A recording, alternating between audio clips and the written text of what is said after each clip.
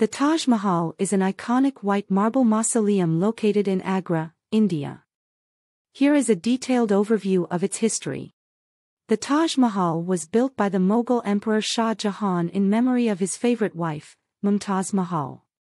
Construction began in 1632 and was completed in 1653, taking over 20,000 artisans and laborers about 21 years to finish.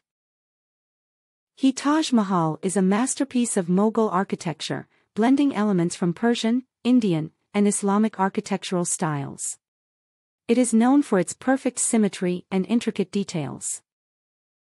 Shah Jahan built the Taj Mahal as a symbol of love and as a final resting place for his beloved wife Mumtaz Mahal, who died during childbirth in 1631. The central structure is the white marble mausoleum, housing the tombs of Mumtaz Mahal and Shah Jahan. The mausoleum is set in a large, landscaped garden with reflecting pools on either side, creating a stunning mirror effect. Four minarets frame the Taj Mahal, adding to its architectural beauty. The main building is constructed primarily of white marble brought from Makrana in Rajasthan.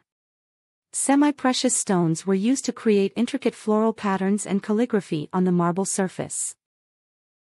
The Taj Mahal is adorned with verses from the Quran in calligraphy and intricate floral and geometric patterns. The inlay work includes precious and semi-precious stones such as lapis lazuli, jasper, and jade.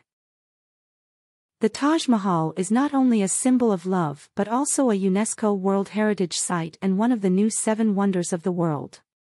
It attracts millions of visitors each year and is considered one of the most beautiful buildings globally.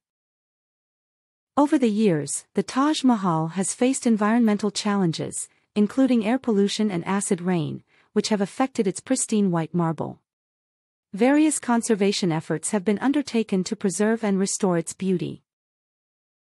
The Taj Mahal stands as a testament to the enduring power of love and remains a cultural and architectural marvel that continues to captivate people from around the world.